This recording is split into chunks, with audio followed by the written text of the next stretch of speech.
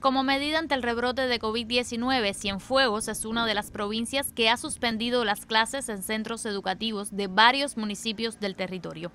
Las actividades docentes televisivas para los estudiantes que permanecen en casa iniciaron hoy en todo el país. Según las autoridades de educación, esta programación podrá ser seguida y aprovechada para la preparación de alumnos de cualquier centro de enseñanza de la isla.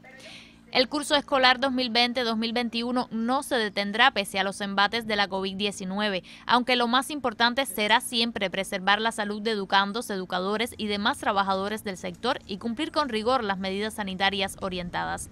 No es igual la parrilla televisiva que sale al aire para cada sitio. Existen diferencias atendiendo al nivel en que se encuentra el actual curso en varias provincias del país. Las actividades docentes televisivas que transmitirá el canal educativo, por ejemplo, están concebidas para los territorios en fase de transmisión autóctona limitada y aquellas escuelas que hoy tienen a sus estudiantes en aislamiento.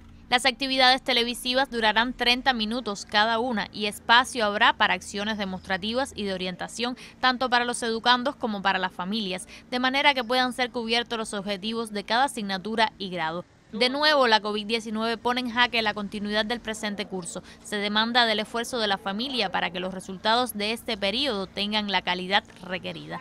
Yanelis Pereira García, Notisur.